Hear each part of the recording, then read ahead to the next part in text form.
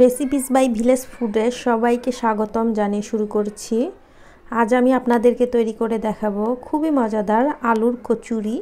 চলুন দেখে নিই কীভাবে তৈরি করতে হয়। আলুর কচুরি তৈরি করার জন্য মেন উপকরণ লাগবে আলু। আলু আমি এইভাবে কিউব করে কেটে নিয়েছি, তারপরে পরিষ্কার পানি দিয়ে কয়েকবার ধুয়ে নিয়েছি। এখানে দিয়ে দিব সরিষার তেল। এখানে দিয়ে দিব পাঁচ ফোড়ন তিরিশ সেকেন্ডের মতো ফোড়ন তুলে নিব। এরপর দিয়ে দিব পেঁয়াজ কুচি, মরিচ কুচি।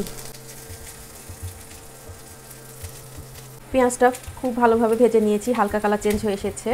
এখন এখানে আলু দিয়ে দিব। এখন এখানে দিয়ে দিব লবণ, স্বাদ মতো হলুদের গুঁড়ো, মরিচের গুঁড়ো।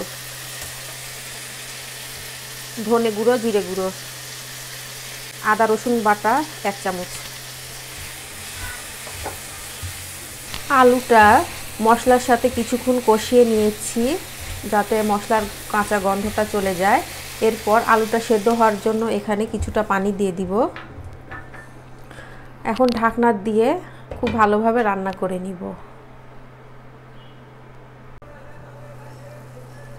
এখানে দিয়ে দিব এক চামচ গরম মশলার গুঁড়ো। চুলার জালটা মিডিয়ামে রেখে পুরটা তৈরি করে নিতে হবে। পুরটা হয়ে গিয়েছে, কিছুটা আলু আমি এইভাবে ম্যাশ করে দিয়েছি। এখন চুলাটা বন্ধ করে এই পুরটা ঠান্ডা করে নিব।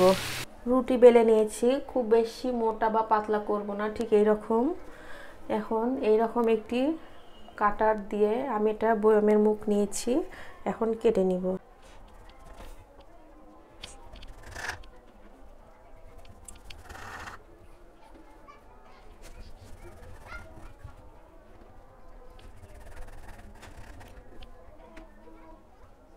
এখানে তৈরি করে রাখা পুর দিয়ে আমি এখন নাস্তা তৈরি করে দেখাবো।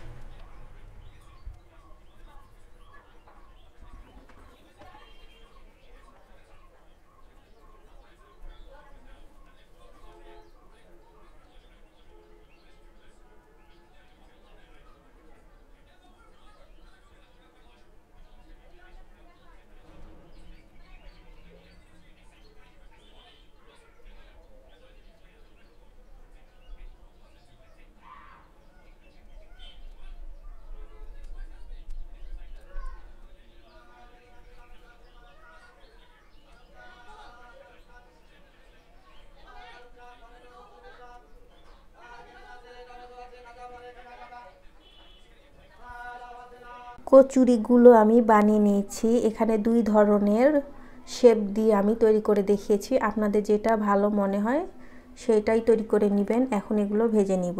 এখানে পর্যাপ্ত পরিমাণে তেল নিয়েছি। তেলটা গরম হয়ে আসলে কচুরিগুলো দিয়ে দিব। এই যে জয়েন্টের মুখটা আমি নিচের দিকে দিব।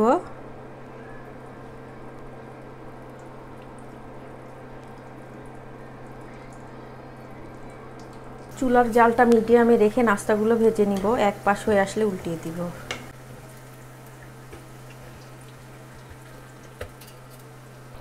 নাস্তাগুলো ভাজা হয়ে গিয়েছে, এখন আমি উঠিয়ে রাখব।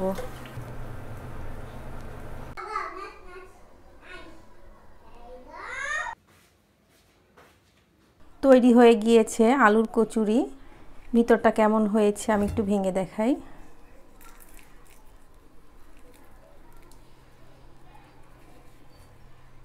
এই কচুরিগুলো খেয়ে মনে হবে এই মাত্র বাহির থেকে নিয়ে আসা।